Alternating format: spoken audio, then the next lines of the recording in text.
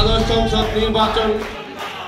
আসন্ন দ্বাদশ জাতীয় সংসদ নির্বাচনে নরসিংদী সদর এক আসনে নৌকা প্রতীকের বিজয় সুনিশ্চিত করার লক্ষ্যে মতবিনিময় সভা।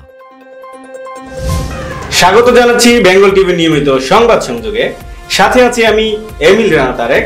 এতক্ষণ শুনছিলেন সংবাদ শিরোনাম এখন বিস্তারিত।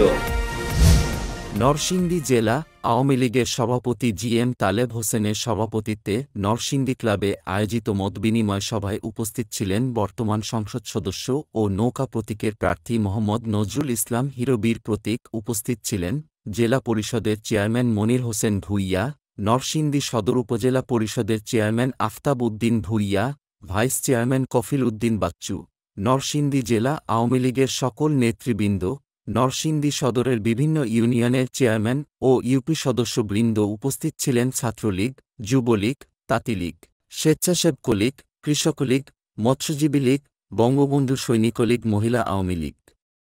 যুব মহিলা লীগের নেতৃবৃন্দ সহ উপস্থিত ছিলেন বিভিন্ন উপজেলা, পৌরসভা, থানা, ইউনিয়ন হতে আগত সকল সহযোগী সংগঠনের নেতৃবৃন্দ।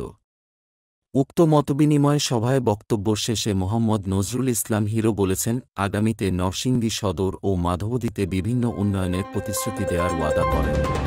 এমনই দেশ বিদেশের তথ্যবহুল সংবাদ নিয়মিত পেতে বেঙ্গল টিভির ইউটিউব চ্যানেলটি সাবস্ক্রাইব করুন ও ফেসবুক পেজটি ফলো করুন।